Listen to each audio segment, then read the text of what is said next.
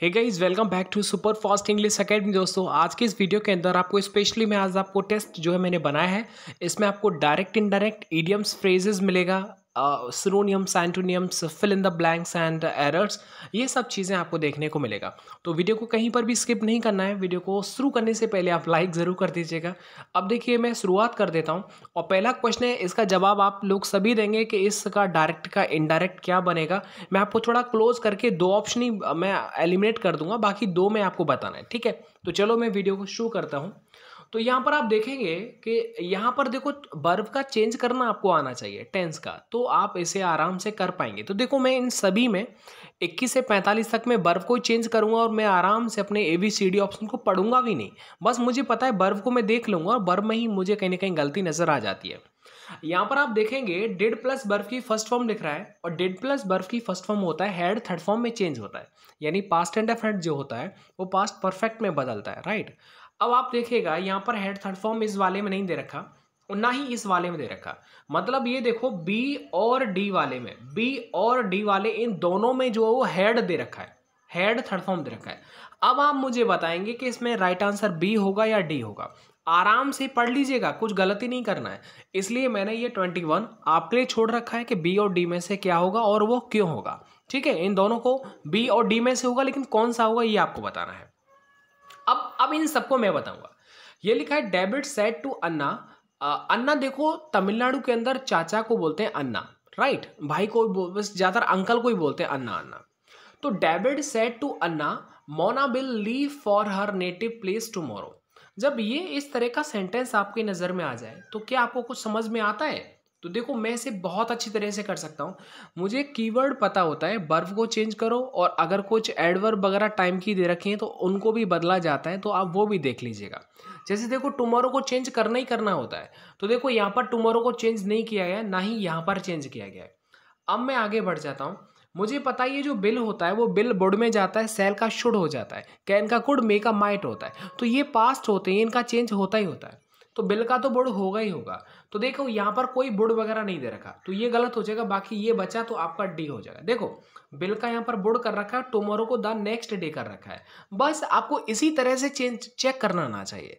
बाकी चारों को आपको पढ़ करके वहाँ पर बनाना नहीं है, आगे बढ़ जाएगा आगे लिखा हुआ है आई सेट टू हिम मैंने उससे कहा why are you working so hard देखो, जब भी आप इस तरह के सेंटेंसेस को पढ़ा करें तो जब भी कभी अगर आपको रिपोर्टेड स्पीच में अगर ये डब्ल्यू एच वगैरह दिख जाए ना तो जब भी आप इसका इनडायरेक्ट बनाएँगे तो ये डब्ल्यू एच ही कंजंक्शन बन जाता है और कंजंक्शन के बाद तुरंत सब्जेक्ट आता है।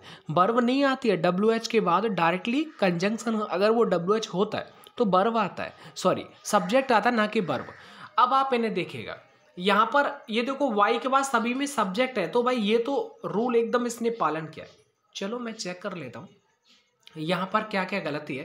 अब आप देखिएगा, अब आप इसे देख रहे होंगे और इसको समझिएगा, इसमें क्या दे रखा है। देखिएगा, जब भी कभी अगर ये डब्ल्यू एस टाइप होता है ना डब्ल्यू एस टाइप तो सेट टू जो होता है वो आस्ड में चेंज होता है। और बाकी आप देख लीजिएगा, इसका तो बहुत सिंपल है बनना।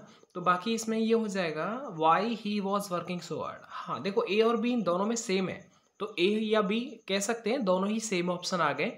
तो ये देखिएगा सेट टू जो होगा वो आज में बदल जाएगा और डब्ल्यू एच जो होता है वो इसका कंजंक्शन बन जाता है। इसके बाद सिंपल चलता है। सिंपल है तो सिंपल नेगेटिव तो नेगेटिव लेकिन बनेगा सब्जेक्ट से ही। तो ये हो जाएगा, इजारे में तो वो वॉज़ वर्म हो जाएगा। तो he was working so hard तो ए और बी इसका राइट है। आगे बढ़ जाएगा। आगे देखिएगा twenty four he said to her what a cold day जब आप इसे पढ़ेंगे तो ये मैं आपके लिए छोड़ देता हूँ। एक स्पेशल मैंने ये आपके लिए छोड़ रखा है। और बताइएगा कि इसमें इसका राइट आंसर क्या हो जाएगा। ठीक है? पहले मैं क्लियर कर देता हूँ।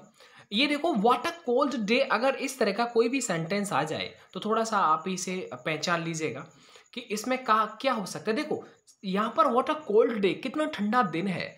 तो आप ये समझ सकते हैं सेट टू जो होगा, वो टोल्ड में तो बदल नहीं सकता। क्योंकि एक्सक्लेम्ड है। आप आश्चर्यचकित रह गए। ठीक है एक्सक्लेम्ड यहाँ पर दे रखा है सेट टू का। ठीक है तो एक्सक्लेम्ड ही हम यहाँ पर लगाएँगे। तो यहाँ पर देखो ए वाला तो हो ही नहीं सकता। बाकी आप देखिएगा, जब आप बहुत खुशी के मार ये बोलते हो माँ, कितना ठंडा दिन है। तो आप ये बताओ, सौरों वाली तो कोई बात ही नहीं हो सकती। मतलब दुखी वाली तो कोई बात ही नहीं हो सकती। अब ये बचा है आपके लिए। अब मैं आपसे, मैं पूछता हूँ, बताओ बी वाला है या डी वाला है? इन दोनों में से आपको जवाब देना है। इतना तो आप कर लेंगे, मुझे ये तो भरोसा है। चलो, मैं आगे बढ़ जाता हूँ। आगे ट्वेंटी फाइव और ये आप देखेगा ट्वेंटी फाइव वाले में क्या होगा?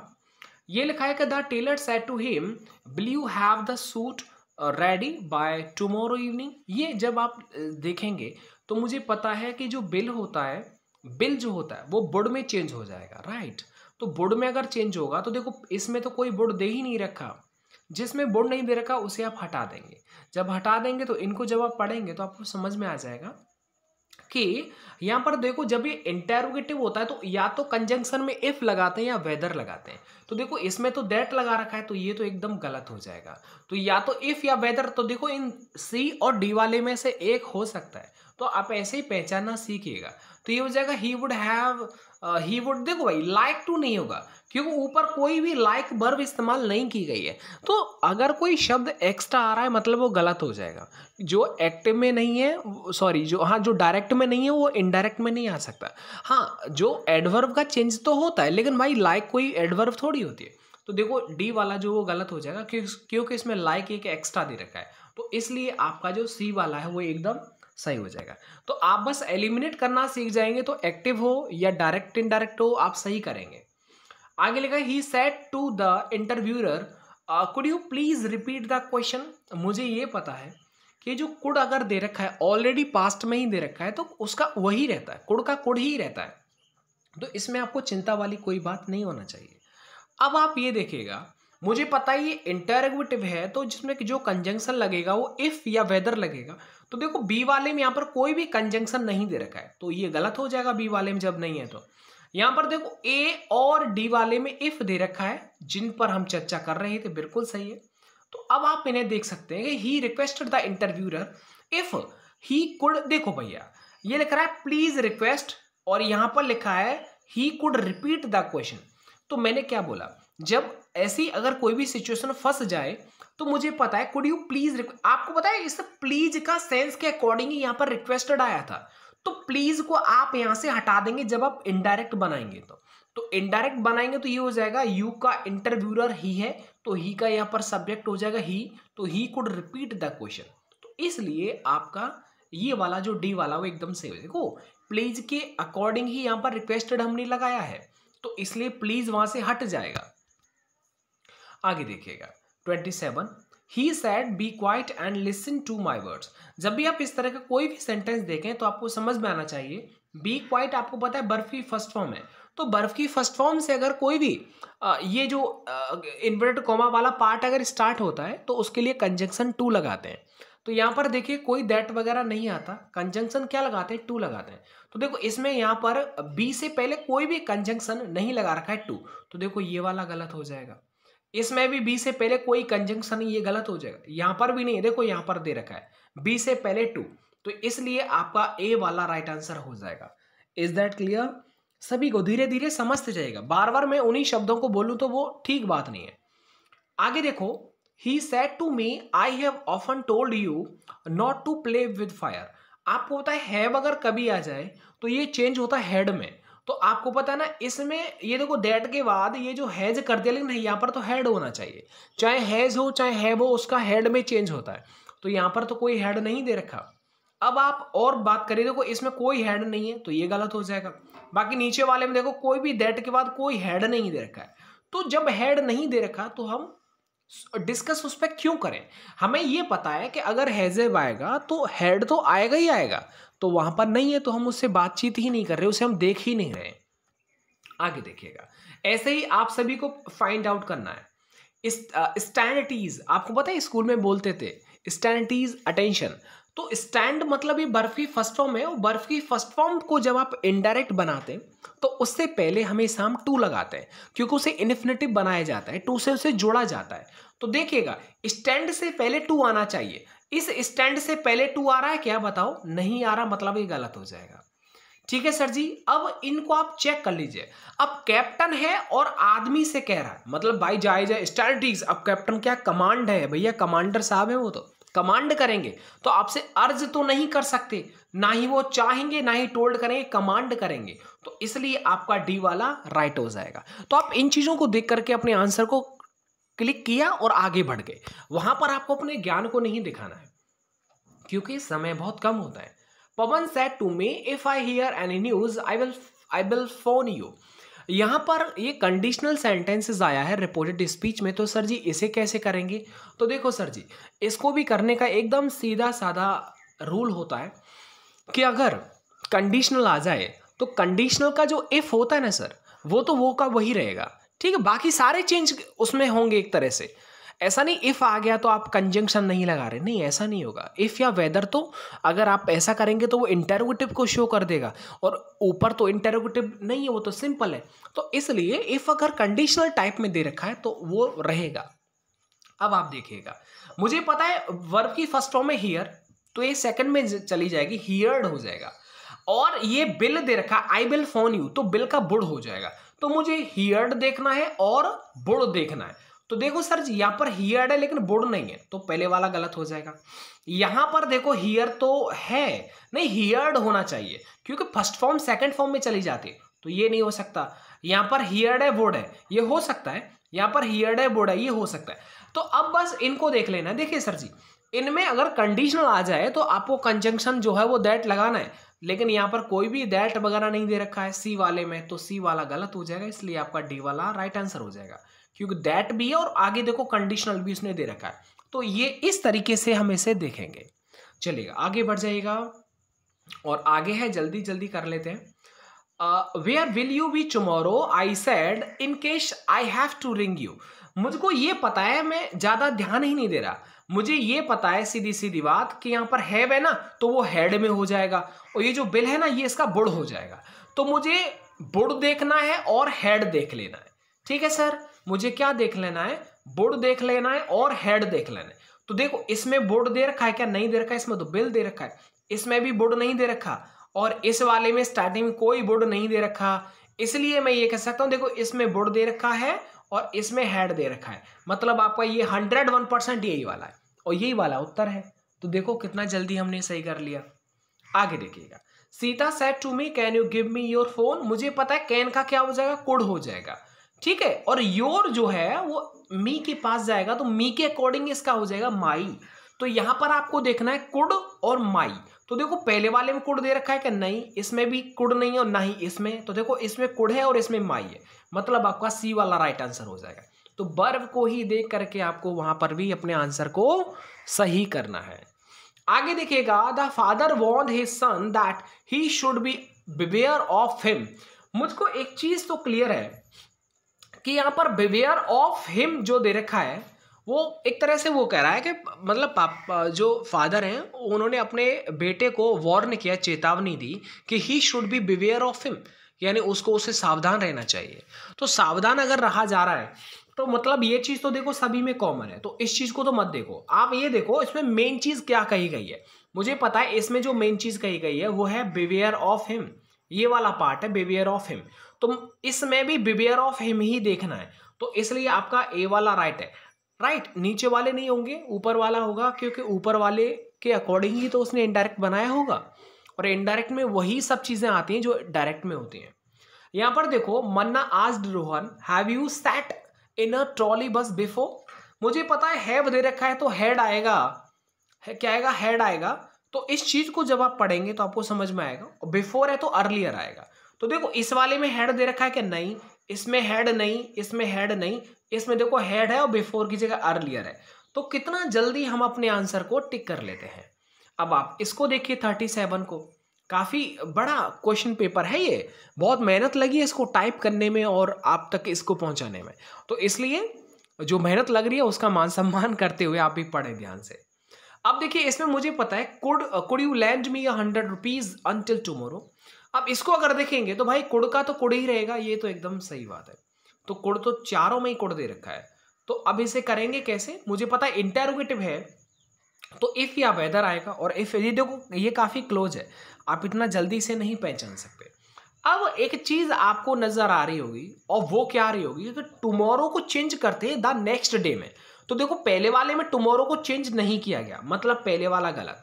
राइट अब आप आगे देखिएगा आगे देखिए सर, यहाँ पर लिखा है फरहान आस्ड गीता। उसके बाद यहाँ पर कंजंक्शन लगेगा। कंजंक्शन वेदर जो आएगा, वो गीता के बाद में आएगा। अब आप ये देखिए, यहाँ पर जो कंजंक्शन है, वो देखो गीता के बाद तो उसने गीता से पहले लिख दिया है तो ये गलत हो जाएगा। बाकी बी और सी को देखेंगे तो बी और सी को देखेंगे तो ये देखो मी आ रहा है फ़र्स्ट पर्सन। फ़र्स्ट पर्सन जाता है सब्जेक्ट के पास फरहान। तो फरहान के अकॉर्डिंग या तो यहाँ पर अगर ऑब्जेक्ट है तो या तो यहाँ पर हिम होगा। हिम होगा, अगर वो लड़की है तो हर होगा, लेकिन मी का मी तो नहीं हो सकता। तो इसलिए मी की जगह पर हिम आएगा। चेंज भी तो करना है ना प्रोनाउन वाला। इसलिए आपका बी वाला राइट आंसर हो जाएगा। ठीक है? मैंने यही देखा, इन दोनों में अंतर क्या दे रखा है? हिम और मी का। तो हिम आएगा या मी आएगा, वो आप प्रोनाउन के अकॉर्डिंग चेंज कर लेंगे। अब आप इसे देखिएगा। You can not you can not bath in this sea ये बात नहीं होता एक्चुअली में ये बेद होता है। ठीक है? और B A T H I G उसे बोलते हैं बेदिंग तो मैं इसे बात ही पढ़ रहा हूँ ताकि आपको अलग ना लगे। You can not bath in this sea तो मैं सी में नहीं ना आ सकते। He said to me it's very rough जब आप इसे पढ़ रहे होंगे तो ये मैं आपको दूँगा इस सवाल का। जब आप इसे, आप क्या करेंगे, मैं ये देखूँगा। बट मैं आपको दो ऑप्शन तो एलिमिनेट करवा ही देता हूँ। ताकि आप थोड़ा सा, आपको भी जो आराम से आप पहचान सकेंगे।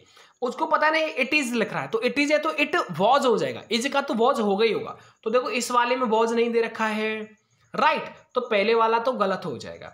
बाकी यहाँ पर कैन नॉट है तो इसका कुड नॉट हो जाएगा। तो कुड नॉट देखो सर जी लास्ट वाले में कैन नॉट दे रखा है तो ये तो नहीं हो सकता। अब बच्चा आपका या तो बी होगा या फिर सी होगा। अब इन दोनों में से क्या होगा? ये आप, ये तो बहुत सिंपल है यार। ये देखो ही सेट टू मी है ना यू जो होता है, वो ऑब्जेक्ट के अकॉर्डिंग चेंज होता है। तो मी के अकॉर्डिंग तो आई आना चाहिए। तो दैट के बाद डायरेक्टली क्या आएगा? यू नहीं आएगा। इसकी जगह आई आएगा। तो दैट के बाद आई आ रहा है ना, इसलिए आपका सी वाला राइट आंसर हो जाएगा। आप भी बनाएँगे तो यही बन के निकल के आएगा। आगे देखिएगा। Jagdish said we passed by a beautiful lake when we went on a trip to Goa. अब ये बताइएगा, यहाँ पर सेकंड फॉर्म है और सेकंड फॉर्म जाता है हेड थर्ड फॉर्म में। और आगे लिख रहा है सेकंड फॉर्म तो ये भी जाएगा हेड थर्ड फॉर्म में। तो ये देखो, यहाँ पर जो है, अब आप चेक करेंगे हेड थर्ड फॉर्म यहाँ पर देखो दैट के बाद डायरेक्टली हेड थर्ड फॉर्म नहीं दे रखा है तो ये गलत है। दैट के बाद यहाँ पर देखो, कोई हेड थर्ड फॉर्म नहीं है, ये भी गलत है। मुझे पता है, यहाँ पर भी had third form had passed आ जाएगा, यहाँ पर हेड गॉन आ जाएगा। तो आप ये देखो, यहाँ पर लिख रहा है हेड पास्ड और हेड गॉन यहाँ पर हैड पास्ड लेकिन हेड गॉन नहीं है, इसलिए बी वाला गलत है सी वाला राइट आंसर हो जाएगा। इज़ ए क्लियर कोई डाउट नहीं रहना चाहिए, आप सभी के डाउट्स क्लियर होने चाहिए। मुझे पता है एक्सपेक्ट है, ये बर्फ़ की फ़र्स्ट फॉर्म है तो ये चेंज होगा सेकंड फॉर्म में। तो देखो हेड थर्ड फॉर्म नहीं डायरेक्टली सेकंड फॉर्म आना चाहिए। तो देखो, इन इन सभी में सेकंड फॉर्म दे रखिए तो अब आप इसे करेंगे कैसे सर जी?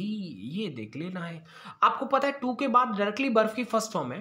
तो कोई बात नहीं, वहाँ पर भी टू के बाद बर्फ़ की फ़र्स्ट फॉर्म ही आएगी। यहाँ पर देखो टू के बाद हैव कर दिया जो कि गलत है।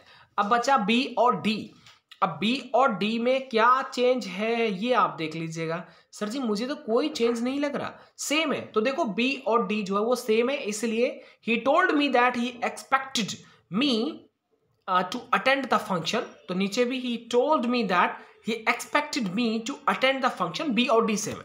ठीक है तो ये आप याद रखें। अब आप इसे देखेंगे और he said why did not you send me your application to me आपको पता है डिड फ़र्स्ट फॉर्म आता है, ये चेंज होता है हेड थर्ड फॉर्म में तो देखो, इस वाले में हेड थर्ड फॉर्म नहीं है। इस वाले में हेड थर्ड फॉर्म नहीं है।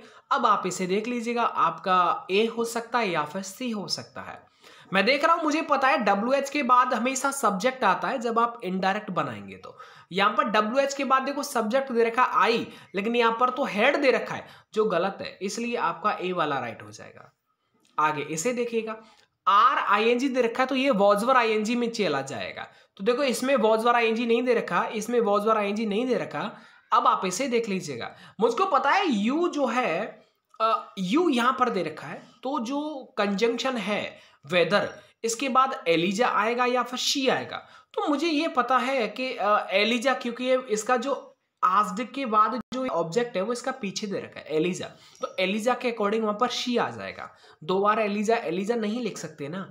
तो इसलिए यहाँ पर जो है वो शी आ जाएगा और आपका जो सी वाला राइट आंसर है, वो एकदम सही हो जाएगा। इज़ दैट क्लियर यहाँ पर आप देख रहे होंगे, Dinesh said Eliza, whether. She was going to the party the next day याद रखिएगा, यहाँ पर वेदर के बाद शी आया। ऐसा क्यों आया? क्योंकि यू जो होता है, वो ऑब्जेक्ट के अकॉर्डिंग चेंज होता है। एलिजा एक लड़की है तो लड़की के अकॉर्डिंग हमने वहाँ पर शी लगा दिया। आगे देखिएगा। आगे देखो, ये भी अच्छा क्वेश्चन है, और इसे मैं कैसे चेंज करूँगा? ये देखो, बिल है तो ज़ाहिर से बुड आएगा ही आएगा।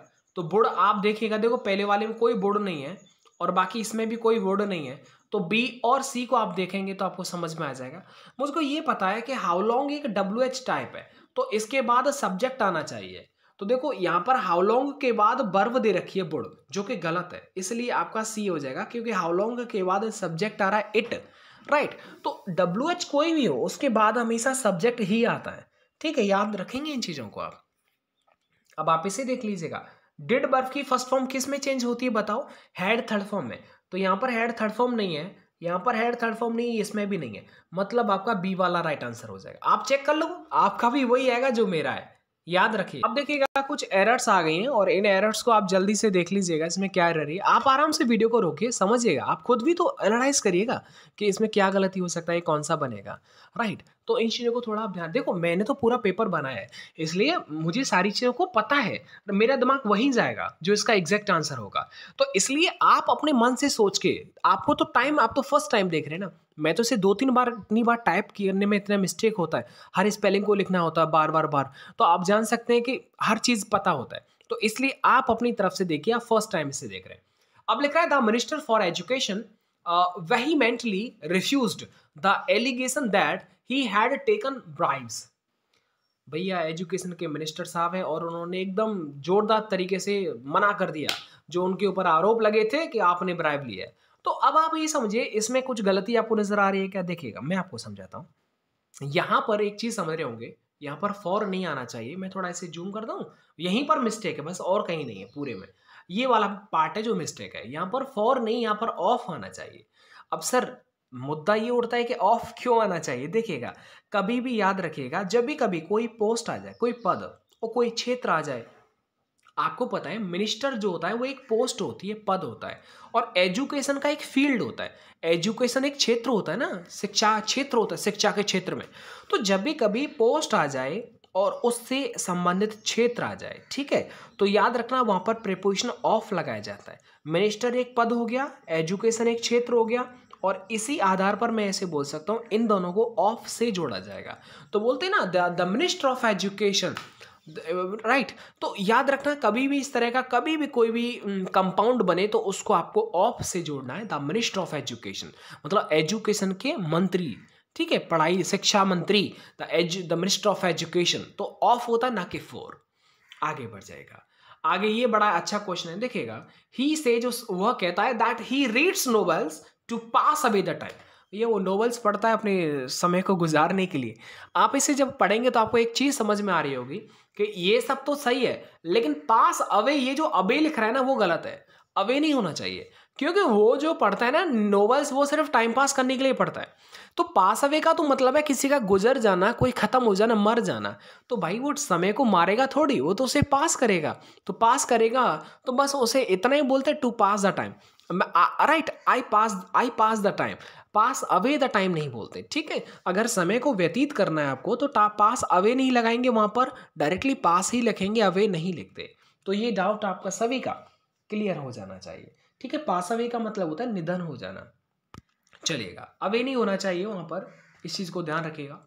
ये लिख रहा है, और ये देखो, बड़ा ही अच्छा कॉन्सेप्ट है, इसे आप जल्दी से बताइएगा। लिखा हुआ है कि no sooner did the teacher enter the classroom the students got up जैसे ही टीचर अध्यापक ने क्लासरूम के अंदर एंट्री ली और वैसे ही स्टूडेंट जो वो खड़े हुए।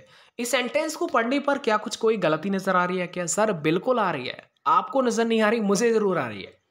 क्योंकि जब आप बार बार उन चीज़ों को लिखते हो, पढ़ाते हो तो आपको समझ में आता है कि इस सेंटेंस में क्या गलती बन सकती है। मुझे पता है नो सुनर में जब भी देखता हूँ ना तो सीधे मेरा नज़र जाता है थोड़ा आगे चल करके देन कंजंक्शन है या नहीं? इस पर मेरा ध्यान जाता है। आपको मैं पढ़ाऊं या नहीं पढ़ाऊं? लेकिन ये होता है, नो सुनर के साथ में कंजंक्शन जो चलता है दूसरे सेंटेंस से पहले, ये सब्जेक्ट है। इससे पहले हमेशा देन आएगा ही आएगा। लेकिन इसमें कोई भी देन नहीं दे रखा। तो इसलिए मैं इसके यू नो जो सी वाला ऑप्शन है, उसमें मैं से गलती कर दूँगा। तो याद रखना सी में क्या हो जाएगा? द स्टूडेंट्स गॉट अप के पहले यहाँ पर देन आना चाहिए, क्योंकि नो सूनर के साथ में जो अगला जो कंजंक्शन से सेंटेंस को जोड़ा जाता है, वो देन ही लगाते हैं। आगे it is nothing else than pride इस सेंटेंस को तो आप तो सभी बता सकते हैं कि अगर कभी भी किसी सेंटेंस में कभी भी अगर ये आ जाए ना, ये जो आपको पता है ना, यहाँ पर जो देन है, ये देन नहीं, यहाँ पर बट आना चाहिए। क्योंकि नथिंग एल्स और आगे जब इसे कनेक्ट किया जाता है तो देन से नहीं, यहाँ पर इसे बट से कनेक्ट किया जाता है। तो बट आ जाएगा यहाँ पर। अब इसके बाद ये फिल इन द ब्लैंक्स है। ये, चलो, आज इतनी ही वीडियो को करते हैं ट्वेंटी फाइव मिनट्स की। इसके बाद बाकी ये रिमेनिंग है फिफ्टी सेवन से लेकर के एट्टी क्वेश्चंस मैंने यहाँ पर लिखे हुए हैं। तो अस्सी क्वेश्चंस हैं इस पूरे पेपर में। तो कल का जो वीडियो आएगा, उसको मिस मत करिएगा। रेगुलर आप सभी के लिए इस सीरीज़ को जो कंटिन्यू किया जा रहा है। तो आप इसे कल देखिएगा या फिर कुछ समय के बाद आप देख सकते हैं। मिलता हूँ मैं आपको नेक्स्ट वीडियो के साथ वीडियो को देखने के लिए और रेगुलर पेपर्स लगाने के लिए। थैंक यू सो मच बिल्कुल भी स्किप नहीं करना है। पूरा शुरू से एंड तक भले आप स्पीड बढ़ा करके वीडियो को देखा करें, लेकिन टेस्ट ज़रूर कर लगाया करें। Thank you